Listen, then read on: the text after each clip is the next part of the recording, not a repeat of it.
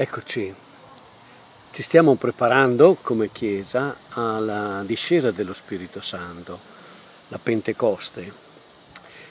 Stiamo cercando in questi giorni di conoscere meglio questo personaggio. Chi è lo Spirito Santo? Fra le tante definizioni, una delle definizioni dello Spirito Santo è, è l'amore. L'amore cosa fa? Lega le persone. Ecco, L'amore lega il padre al figlio, è il loro legame, il loro rapporto.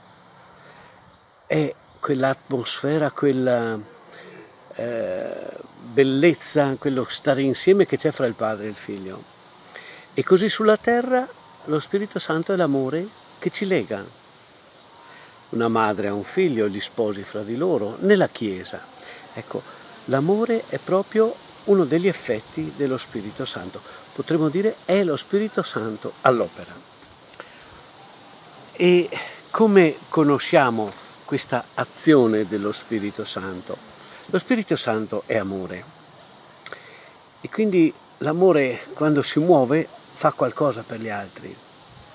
Quando tu vai a trovare una persona, quando sei a pranzo o fai una festa, porti dei doni e i doni mettono in evidenza la bellezza di essere insieme, mettono in evidenza la bellezza delle persone, il loro rapporto, la gioia di stare insieme. E così lo Spirito Santo porta dei doni, sono sette. Quello che vorremmo capire meglio oggi è il dono del consiglio.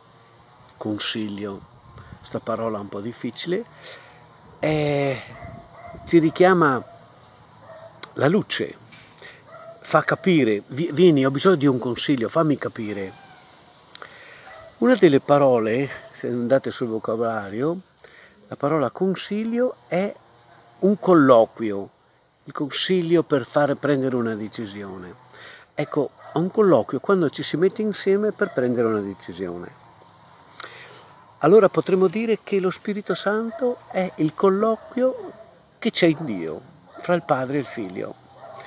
Il colloquio che risale all'inizio dei tempi, quando a un certo punto Dio ha deciso di farsi uomo, prima di creare il mondo e poi di farsi uomo. Ecco, questo consiglio, questo progetto, questa decisione. E poi il colloquio, questa decisione che c'è sulla terra, fra noi. Non so come se succede a voi, io quando ho bisogno di fare una cosa, allora ci penso su, e poi chiamo un amico, qualcuno che mi dico che mi faccia da specchio, gli dico senti, fammi da specchio, io ti dico quello che vorrei fare e così tu mi dici, ascoltandoti, mi fai capire, mi dici quello che io capisco quello che devo fare. Ecco così, lo Spirito Santo è proprio questo specchio che c'è o dentro la nostra anima, così capisco la mia storia, la mia vita, che cosa devo fare nella vita, devo sposarmi, devo diventare prete, devo diventare missionario, cosa devo fare della mia vita? Ecco, dentro di me. E poi questo colloquio fuori di noi, in famiglia, nella comunità, come dire, come possiamo aiutare la Chiesa, per esempio, a essere quello che deve essere, a portare la fraternità, la fratellanza a tutti gli uomini.